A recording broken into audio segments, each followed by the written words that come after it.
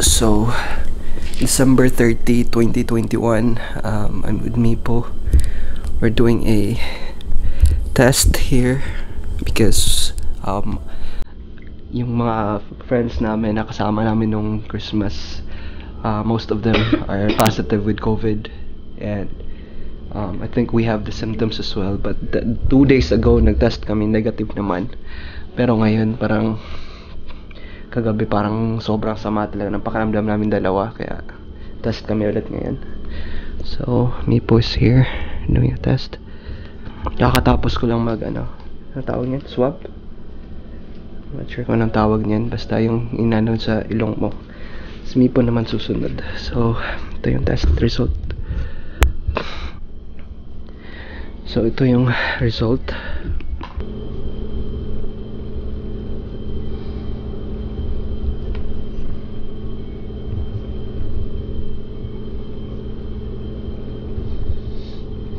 medyo nervous ako guys kasi sama talaga na pakiram ko kagabi. So ayan. Matakbo na ayan tumatakbo pa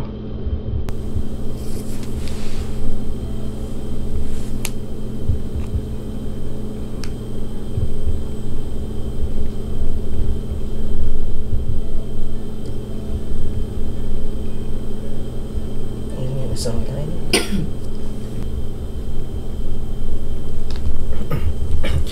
So 15 minutes yung hihintayin. Ba bago mo talaga masabi na negative. So, hintayin lang natin.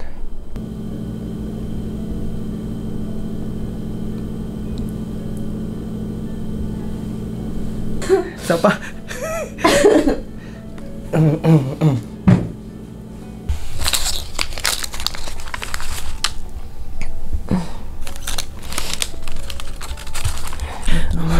Meron pang 5 minutes na hinihintay. Mipo. Ay, yung sa akin. So far, isang line pa rin. Um, by the way guys, ito nga pala yung lalagyan ng test kit. Rapid test kit. Ah, binibigay na to dito ng libre. Um, pinamibigay ng government.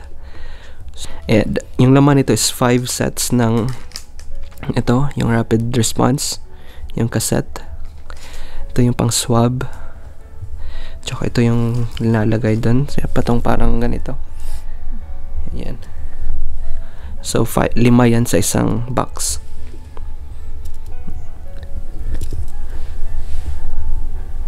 So, yan kay Mipo naman. Tingnan natin.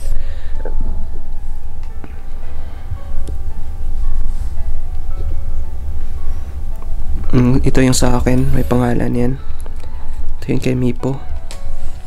Ito nga pala yung second time namin na nag-test guys kasi kasi nga nung nag-test kami nung nakarang araw wala naman kaming negative naman at wala kaming masyadong um, napansin na pagbabago sa aming health. Pero kagabi talagang sobra yun. Hindi kami makatulog sa ubo at saka linagnat pa si Mipo. Positive ko lang. ito nga kay Mipo Yun. Lagi. sa akin negative pa yung kay Mipo positive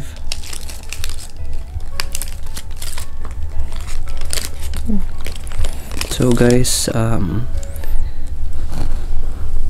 may zombie dito Ya, tag ibutang sa ilamay sa nita ng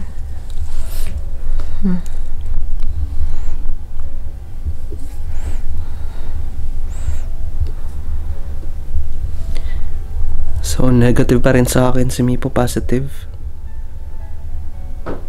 for COVID-19 oh, one line pa man.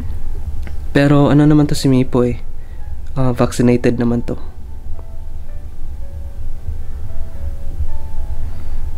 So, siguro mild lang din yan, ano niya. Dalawa na. Two lines na. Two lines. Sa Mipo. Mip, magmask ka, Mip. Guys, Yan yan. Yung babaeng yan guys. Yan. I have a bad news guys. Yun nga si Mipo nag, nag-positive sa COVID. Kaya di mo na tayo lalapit sa kanya. Um, bibigyan natin siya ng mask. Here. Here. That's a new one. When did you get this? Can, anak ko. Smell it.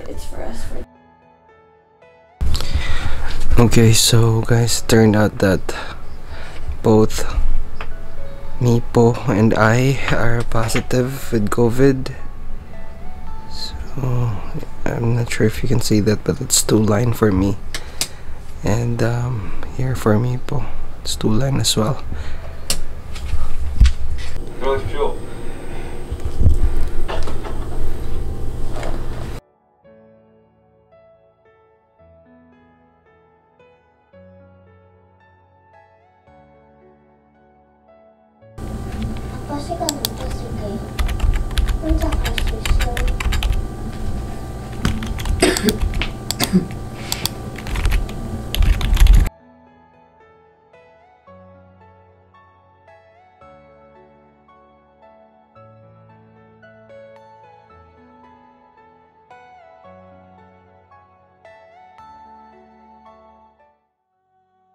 Okay, so guys, it's day two since um, Mipo tested positive yesterday, and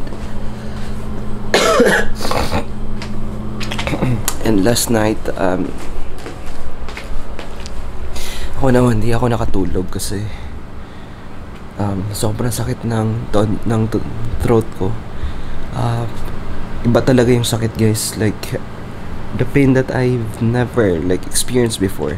Lagi akong sinisingaw, ano, sore throat but last night that was different guys. Um, talagang sobrang hapdi ng throat ko. So, um, I'm not feeling well as well. Tinawagan ko na yung office. Um, sabi na ako, hindi ako papasok ngayon. Kasi nga, yun. Hirap kami lang dalawa dito guys. Wala kaming kamag-anak or anything like that. So, hirap talaga.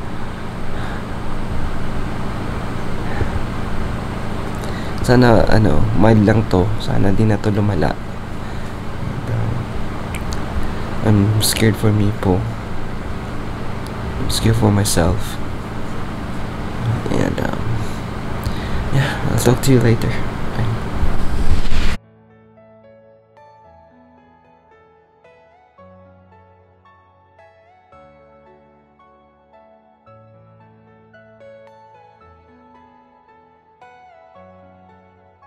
Okay, so hello guys, this is day 3 of of our COVID na, na, na COVID kami.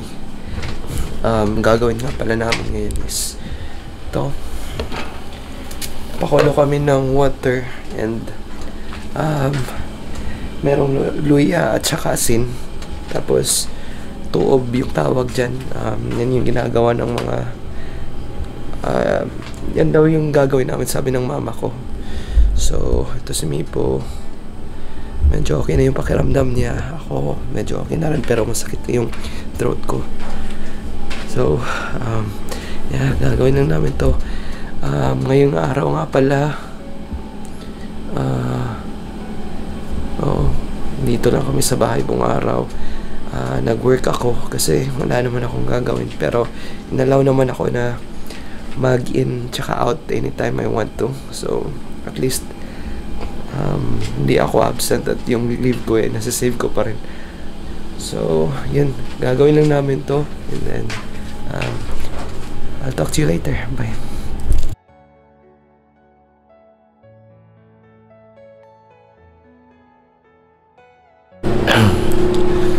okay, today is day 4. Um, I'm still not feeling well. Ah, sakit kaya akong throat.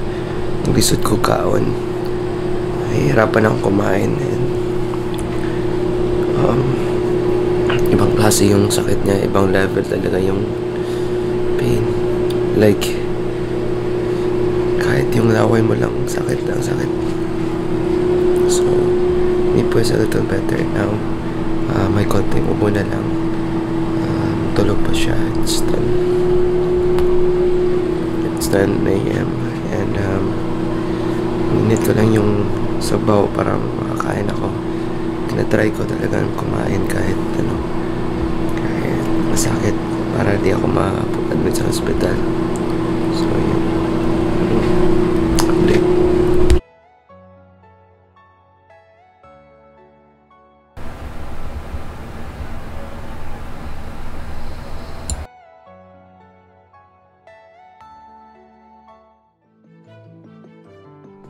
Okay, so hello guys. Today is day 7 and Mipo and I are feeling so much better now. Ginupit ko rin yung, ano, sarili ko. Kinalbo ko na para mas like fresh yung ano, pakiramdam. And at the same time, thank you so much Ninong Rada Ninang May sa pinadala yung food. Uh, we really appreciate it.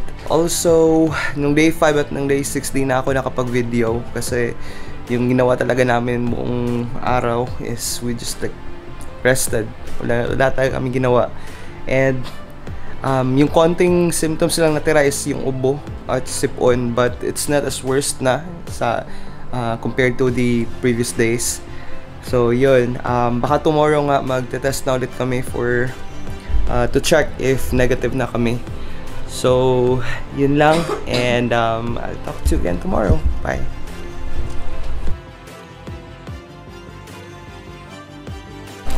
Okay guys, so today's day 8. Um, we decided na bukas na kami magpapa uh, swab or mag magte-test ulit kasi meron pang konting ubo si Mipo at saka ako. Uh, maybe tomorrow mo talagang 100% na sure kami kasi 5 lang yung laman ng test kit.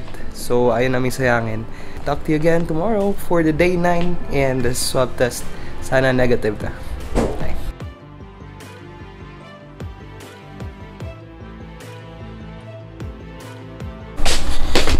So, hello guys. Um, today is day 9 and um, we're gonna be testing again for COVID uh, to see if uh, negative na kami. So, ito yung test kit. So,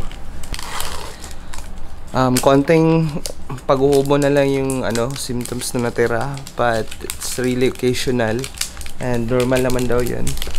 So, yun. Um, test na ako ni Mipo. Sana negative na to.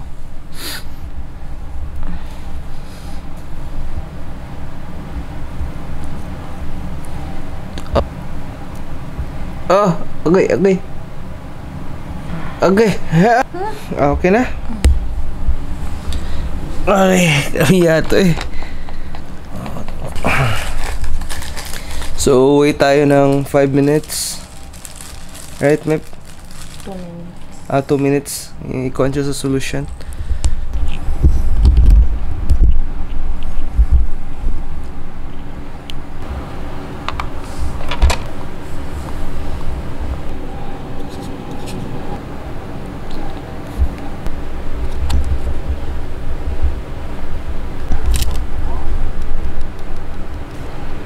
Okay, so guys, Turned out, uh, I'm now negative with COVID. By the way, sabi nga na pala ng friend namin, uh, na si Carla, uh, from UK, nurse ng UK, shoutout la, deputy manager.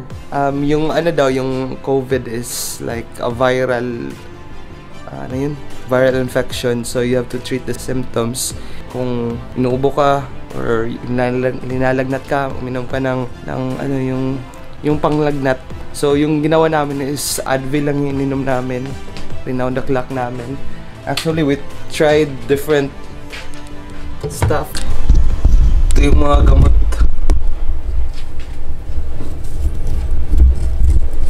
Ito yung mga gamot na ininom namin.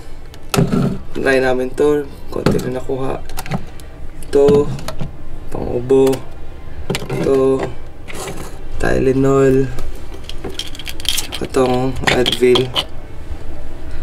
But ang talagang nakapag ano sa amin yung kanang yung nakapagpagaling or kanang yung nakapag feel better sa amin is ito talaga. To Advil liquid gel for colds. Cold and sinus. Kasi yung sipon ko. And also, um, you have to take vitamins, um, tulog ka ng maaga. Also, kahit hindi masarap kumain, kasi yung taste mo is medyo affected, pilitin mo pa rin kumain. Drink more water, pray, and keep your family safe also guys. Just, if you can avoid going out, just don't go out. Just stay in the house. Kasi ang hirap pag mag, may mga-COVID sa inyo, lahat kayo sa household nyo magiging positive rin. So, if you can avoid going out, avoid it for now. Lalo na yung yung Omicron grabe, ang bilis kumalat guys. Nakakatakot yun. Also, if you are not yet vaccinated, have yourself vaccinated. It's for your own good and also to protect the more vulnerable ones. Yung meron kayong mga matatanda or bata sa bahay. Yun sila yung delikado. I'm gonna end of the, this like series of COVID vlog here. So, thank you so much for watching. If you haven't done so, please consider subscribing to my channel. Maraming salamat sa lahat. Amping tanan. Bye. You lifted me up, you sailed me away.